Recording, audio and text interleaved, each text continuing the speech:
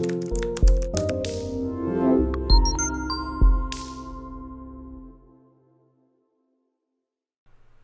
probably dangerous for me to do this live, to be honest with you. there it is right there. This is the STIG viewer right here. And just go to, first step, go to disa.mil, find the STIG site. Now they call it cyber.mil forward slash STIGs. Go there, download the STIG viewer. The STIG viewer is going to be like a checklist, right? It's a manual process where you will upload, let's say you're looking at Office 2016 or whatever, right? You would get Office 2016 and upload it into this STIG viewer. It will tell you everything it wants you to that you should be looking at, right? It'll be like 100, 200 items. But right off the bat, you'll be able to eliminate some things. Like you'll be like, okay, well, yes, we have Office, but we don't use we don't Word or whatever, right? And you can just eliminate those controls. Or we we use Office, but we don't use Visio or something, and that will eliminate some of those controls. And you will go through and you'll check off, and, and then it'll also tell you what categorization of the, and this is really useful, it'll show you what categorization of the control is. In other words, you have a you have a high, medium, and low impact. So if it's a high, you want to start with your high impact items. High impact meaning like if you don't fix this thing on this Office 2016 system, somebody can just use any password username and then they can get in and own the whole box. You know, that's a category 1 a category 1 type thing. If if it's moderate, it's like okay, well somebody could corrupt the information, but they got to go through all these different steps. And then low is like this this is an update that could be exploited in the future, but there's no specific thing for it, right? So it goes from one level of risk to another level of risk. And this is where the STIG viewer shines because it's telling you the levels of risk that you're seeing. And um, I'd have to upload the STIGs and stuff, and that's. I, hope that this was helpful to you. But here's here's everything right here. I wonder if I could find the other the other um, tool. That's a really good tool. It's called SCC. And that tool is very effective. Yeah, I'm not seeing, they keep moving stuff around. So every time I come here, it takes me on a journey. Like it's a, I'm on a journey and I'm, I'm learning stuff again over and over again. So at least they're keeping up with the times or trying to. I'm looking for the other tool. Where is that thing?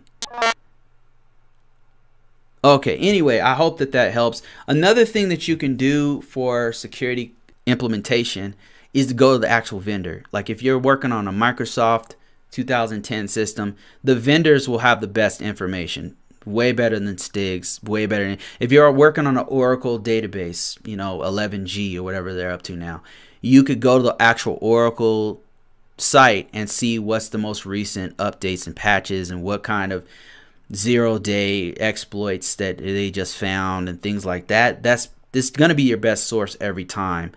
The vendor Stigs are helpful, and then there's another site I can quickly show you, and that one is called NSA.gov. Has a really good, really good manuals. Now, as soon as I go on the site, they're going to be monitoring my IP. I don't care.